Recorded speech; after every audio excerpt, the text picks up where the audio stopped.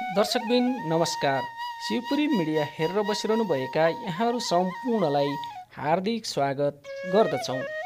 यहाँहरूलाई आज हामी देखाउन गइरहेका छौँ यस भिडियोमा लोकल कुखुरा पालनको भिडियो देखाइरहेका छौँ।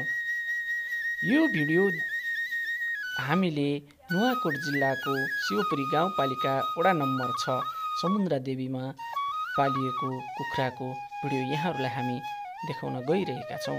यहाँहरूलाई लाग्न सक्छ यो कुखुरा कसले पालन गरेको होला? यो कुखुरा पालन गर्नुभएको छ महेश थापा शिवपुरी छ समुद्र देवीका।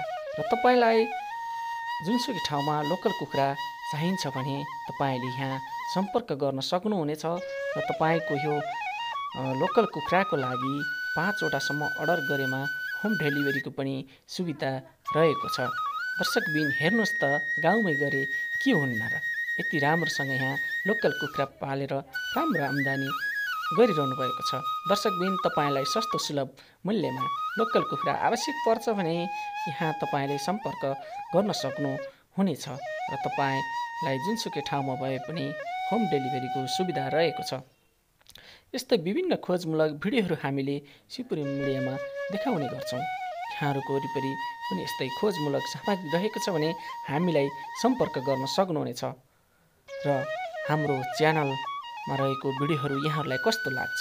यहाँहरूको प्रतिक्रिया दिन नभुल्नुहोला। र हाम्रो यस शिवपुरी मिडिया युट्युब च्यानललाई लाइक कमेन्ट सब्सक्राइब र सेयर गर्न नभुल्नुहोला।